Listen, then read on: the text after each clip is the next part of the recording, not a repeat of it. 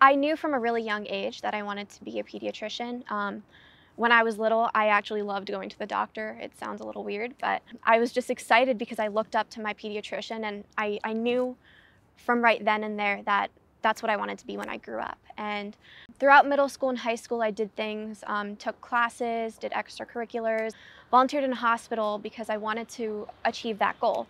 And then at the end of my freshman year in high school, my younger brother was diagnosed with a brain tumor.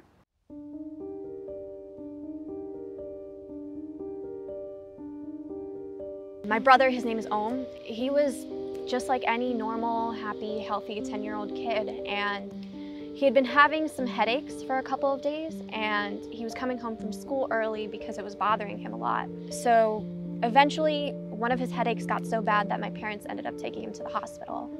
When we got there, I really like tried to put myself together just because he was 10 years old and I didn't know if he knew yet or if he knew how serious that would be.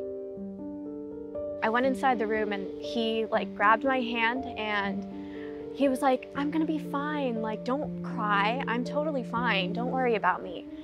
And I think from that moment onwards, he, he never wavered in that strength and that confidence. He just took the best of the situation that he was given. And that was something that really kept the rest of us going. My parents and I really, he was the one giving us strength, even though it should have been the other way around. He passed away when I was 18, but I'm really grateful that I got to spend my childhood with him. And we tried to take the best of the tragedy that we faced, and we wanted to leave a legacy of Om's that would be even bigger and better than the life that he lived.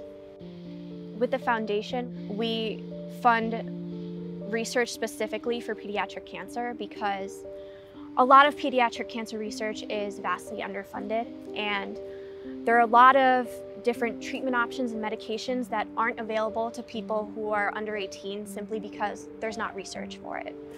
So we definitely try to bridge that gap and we also work with the Cancer Institute on education programs and it's just really amazing to see what the kids are really doing because they're the leaders, they're the future.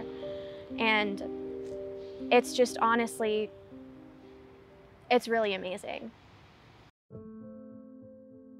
Something that I saw during my brother's journey was how much he really trusted his doctors and the bonds that he had with them. It was really heartwarming to see how much he respected them and how much he trusted them to direct his treatment. It showed me how much you know, a, a doctor does what a, do a doctor does, but at the end of the day, the patient is the one that really fights those battles.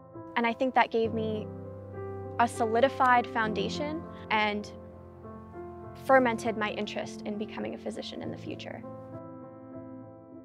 You know, ultimately, even though they couldn't save his life, they had a really great impact on it. And if I can have an impact like that, even on the life of one patient, like Om, I think that my life's mission would be successful because it's all about making a positive difference in, in the life of a child that's going through something.